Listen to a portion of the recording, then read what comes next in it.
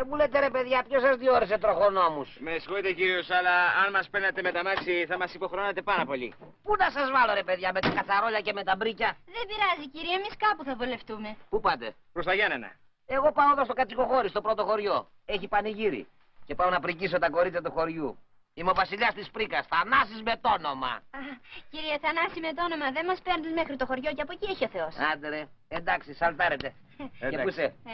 Προσέξτε γιατί όλα μέσα είναι εύθραυστα. Ακόμη και τα σεντόνια. Εντάξει, ευχαριστούμε πάρα πολύ. Ρε Πιτζή, Ναι. βάλε ένα χέρι. Ε, Βάλε ένα χέρι ρε πίτσι. Οπα! Πάμε πίπι, πάμε.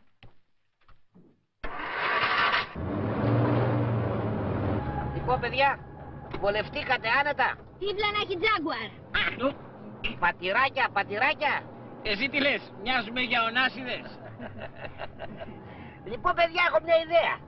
Θα σας προσλάβω για βοηθούς μου στο πανηγύρι. Έτσι όπως καταντήσαμε για τα πανηγύρια είμαστε. Θα σας δώκω από ένα κατοστάρικο για μεροκάματο και για μπουρμπουάρ θα σας ρίξω από ένα σουβλάκι. Είστε; Και τι δουλειά θα κάνουμε;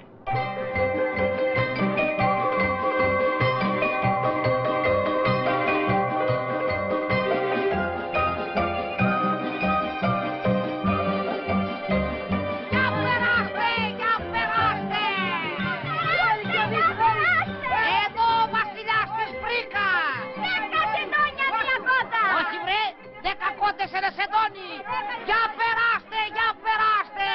Αγοράστε και θαυμάστε. Εδώ ο βασιλιάς της Βρίκας. Να παίρνει ρήφη και να μην δίνει του γαμπρού.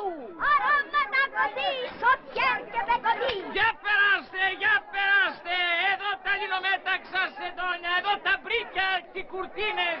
Πολλά δίνετε, λίγα παίρνετε.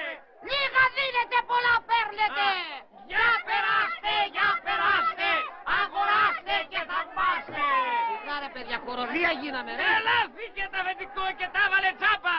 Τρελάθηκε το αφεντικό και τα έβαλε τζάμπα. Το αφεντικό τρελάθηκε. Εγώ είμαι ρε το αφεντικό. Για περάστε, για περάστε, αγοράστε και θαυμάστε. Ένας είναι ο Θανάσης κι αν ψωνίσεις δεν θα χάσεις. Σιγά ρε Μπουργό, σιγά ρε Μπουργό.